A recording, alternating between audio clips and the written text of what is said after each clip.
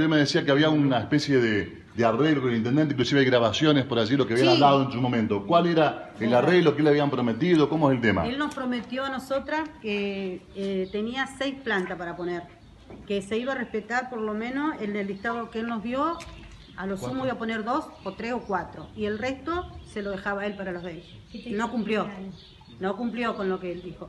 Él nos dijo, yo no voy a poner a ningún funcionario, los funcionarios se van conmigo. Se va Mónica, se va Natalie, se van todos conmigo. Y hoy en día pone a Marcela y a Mónica, que son funcionarias.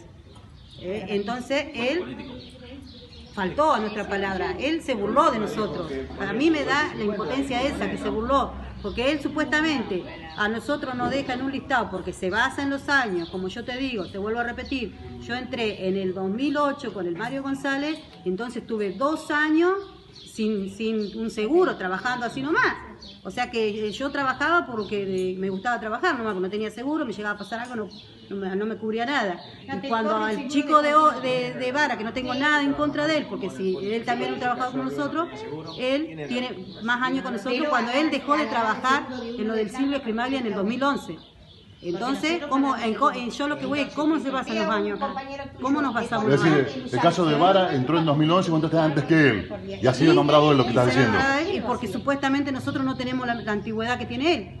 Entonces, si él se basa en eso, ¿en qué no está? eh, a mí, me, realmente, a mí, perdona la palabra, me cagó en dos.